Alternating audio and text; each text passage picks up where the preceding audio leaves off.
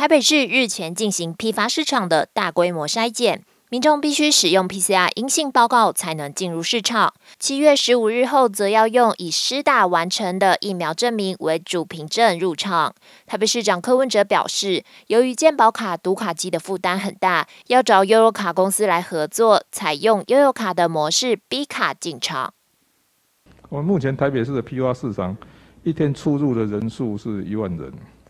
如果每一个都要用插那个健保卡，你知道哈，两三下那个读卡机就坏掉了，所以终究还是要用我们我们最熟悉的，你知道哈，要过那个捷运那个闸门的时候，那个那个悠游卡必乘车，所以 所以关于这个问题，你知道哈，我们现在必须要找悠游卡公司，你知道来做这种场域内的会员卡。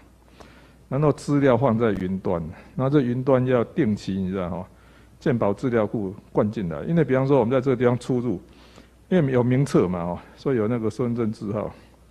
然后这个健保资料库要把符合这个身份证字号的那个打那个打疫苗跟做 PCR 的资料灌进来，啊这样你在经过那闸门的时候一逼就会上去。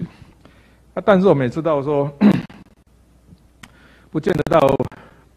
北农批发市场的每一个都是会员嘛，对不对？哦，还是会有零散的，那怎么办？那些人就也许真的要插健保卡。可是刚才讲过哦，健保卡哦要要插，你知道？那读卡机是很大负担的。所以另外一个是身份证哦少条码比较合适。可是我们啊这个一样啊借要借接哈内政部的系统跟卫福部的这个健保资料库的系统，因为那个身份证字号你知道哈。跟那个健保卡是有有联络关系的。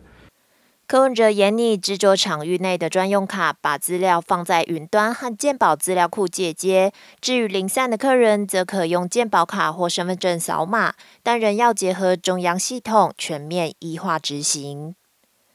记者温俊台北报道。